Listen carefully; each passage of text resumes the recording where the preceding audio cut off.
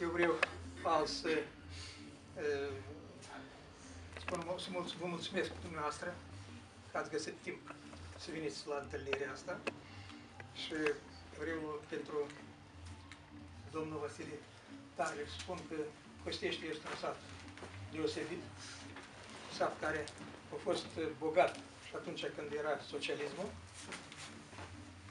Mult s-a construit noi în satul ăsta, e, produceau 36.000 de tone de producție. An, pe an, fiecare an 36.000 de tone de producție.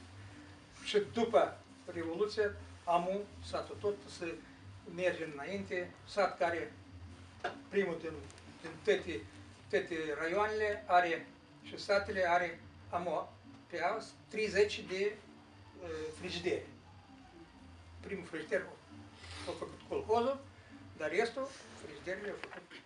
uh, Pentru asta uh, să aveți o informație pentru Căstești și vreau să dau cuvântul lui Vasile Paulu Starlev, care a fost șapte ani uh, prim-ministru în Republica Moldova și uh, amu în fruntea la Partidul Renaștere și dumnealui ar spune cum, cum văd ei, cum ar să treacă alegerile și cum văd ei uh, uh, Republica înainte de uh,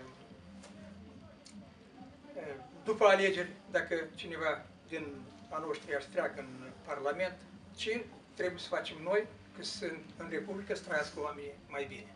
Poftim. Da, mersi.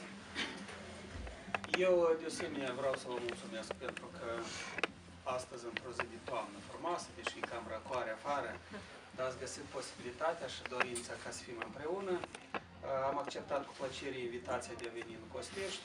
Noi nu alergăm uh, într-acele localități unde îi aduc pe oameni cu forța, îi impun să vină la întâlniri, nu știu ce acolo. Pentru noi este important uh, atât cât sunt, să le răspundem, să le spunem ce vrem noi, ce propunem noi și cu ce suntem noi mai buni ca alții și care sunt plusurile și care sunt minusurile noastre. Uh, Mă bucur că astăzi încerc ca să vă spun ceva, ceea ce vrem noi, cum vedem noi situația. Dacă vorbim de scopul principal pe care îl avem noi, uh, cred că dumneavoastră știți că acum merge compania electorală, uh, în toate localitățile țării fierbinte. De fapt, fierbinte trebuie să fie anul împrejur, în opinia noastră. Și uh, acei care merg la alegeri, zicem, partidele politice în special, ei trebuie să vină nu odată în patru ani la oameni înainte de alegeri, trebuie să fie permanent alături de, de persoane. Însă, mă rog, asta este specificul Republicii Moldova la momentul actual. Uh, Ce vedem noi? După cum cunoașteți, pe data de 30 uh, noiembrie va avea loc alegerile în Parlamentul Republicii Moldova. Noi nu suntem indiferenți ce va fi mai departe în țara noastră și evident că venind mai mulți colegi, mai mulți prieteni de a ne propune ca să uh, ne implicăm și noi în compania electorală pentru a accesa în Parlament și evident că de a încerca să influențăm dezvoltarea statului de mai departe, nu sunt nici eu indiferent, deși eu am lucrat uh, uh, și primul ministru, și conducător, și uh, angajat în diferite instituții și de stat și private, dar nu pot fi indiferent ce va fi mai departe cu patria noastră, cu țara noastră. Suntem moldoveni, suntem cetățeni ai Republicii Moldova și evident că trebuie să ne lăsăm amprenta noastră în viitorul țării noastre. Ce propunem noi?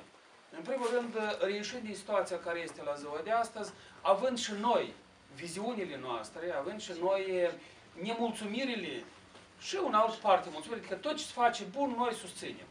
Să dea Dumnezeu să fie drumuri, să dea Dumnezeu să fie loc de muncă și toate acelea, dar în viziunea noastră se poate făcut ceva mai mult. De exemplu, noi nu suntem de acord cu uh, așa atitudini ca la guvernare care a fost în ultimii ani, de exemplu, vânzarea peste noaptea a cotii statului în Banca de Economie.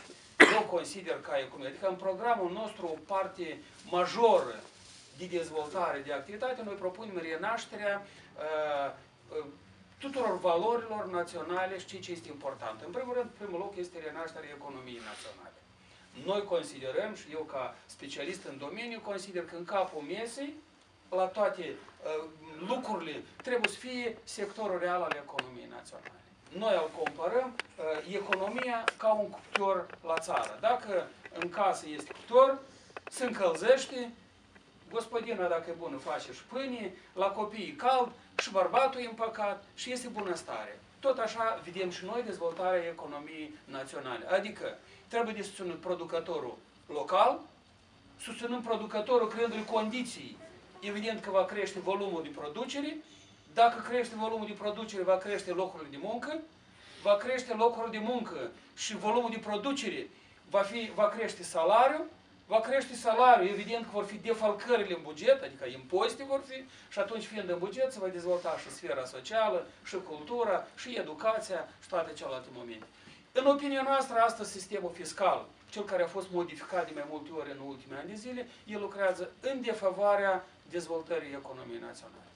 Noi în partidul care îl prezentăm, Partidul Renașterii, el așa este înregistrat la Ministerul Justiției, în buletinul de vot, noi la adunarea generală, la Congresul Partidului, am decis să fie scris în două limbi, să fie cuvântul, adică denumirea renaștere, liniuță vazrajdenie și pentru acei vorbitori de limba rusă. Noi la baza partidului sau platformei electorale a partidului avem câteva principii de bază.